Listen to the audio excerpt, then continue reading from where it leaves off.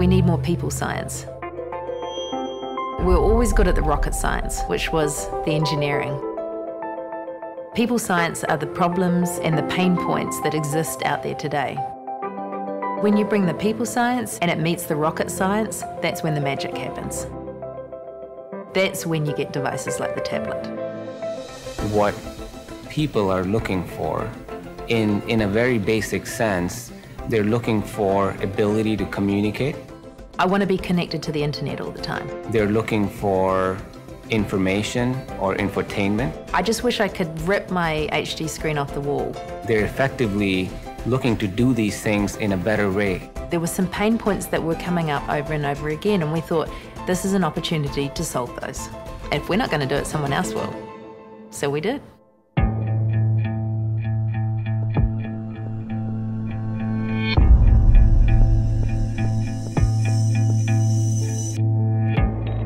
We didn't want to just do a tablet to do a tablet. We wanted to do the right tablet, do the best tablet. No one does it all by themselves.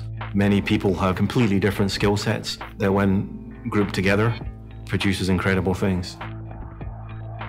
You can make a tablet, but if the way the software works, the experience, is, is not optimized for a tablet, then you feel like you got a smartphone, but it just doesn't fit in my pocket anymore. What Google is great at is developing software. They said we're going to sit down and we're going to think about what a tablet software experience should look like and feel like, and that's Honeycomb. And then when you add Adobe in, and the fact that they provide an internet experience that is exactly like the internet experience you have at home, that's the magic. This is the first device that has a new Android release that's optimized for tablets.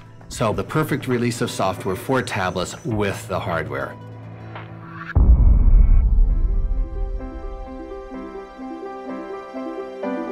It's giving them a bigger screen to do more with. You have the horsepower of 2 gigahertz processing capacity. We make sure we put the right level of battery performance in this device. It connects to the cellular 3G network and it's 4G capable as well. You can be IMing your friend, you can be sending an email, you can be looking at your calendar for next week and figuring out what you need to do all at the same time. One simple black sheet of glass until that display is illuminated. And when that display is illuminated, you get to see exactly what's important to you. Typically, we are tasked with things that are impossible. We call them mission impossible. So this is one of our mission impossibles to work on something that truly redefines the way that people actually end up using these things. We have no neutral mode. It's fast forward, fast forward, and fast forward. That is in our DNA, and it is in the way we design, and it is in the way that we build devices.